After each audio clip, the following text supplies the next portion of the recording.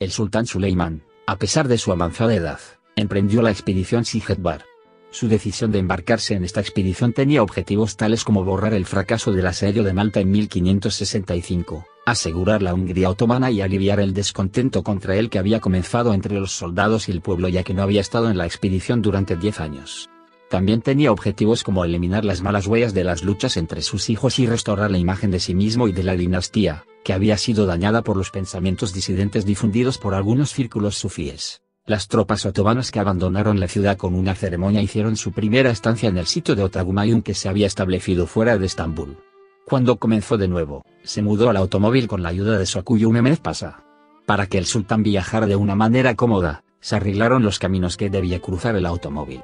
Suleimán el Magnífico, que condujo a Sigetbar, había cabalgado un caballo a pesar de todas sus molestias para no traer la gloria del sultán en los centros de la ciudad.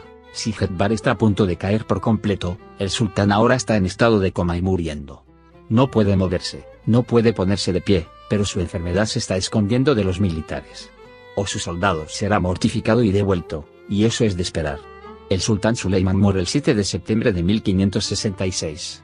Mehmed Pasa no reló nada a los soldados. Pulto fue debidamente bañado, orado, y sus órganos internos fueron removidos, y fue enterrado inmediatamente en el suelo debajo de su cama. El exterior de su cuerpo estaba cubierto con varias sustancias, impedía oler, puesto en un ataúd. Vicerafam Mehmed Pasa ocultó la situación del soldado. Sin embargo, el castillo tuvo que ser capturado lo antes posible.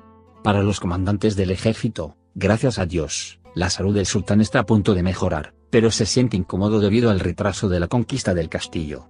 La orden del sultán está en la conquista de Sigetbar hoy, envió una orden. Sigetbar fue completamente conquistado ese día. La muerte del sultán Suleiman se mantuvo durante 48 días. Incluso los atumayuns fueron impresos como si el sultán los hubiera escrito.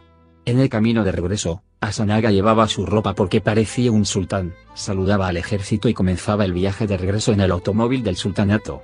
En este viaje, también hubo un muerto que nadie supo o escuchó que era el sultán Suleiman, el magnífico Suleiman, un gran sultán con un gran título turco. De esta manera, la muerte del sultán Suleiman quedó oculta al ejército hasta que Seza de Selim llegó a Belgrado desde Kutaya. La ceremonia oficial del entierro se llevó a cabo casi 50 días después.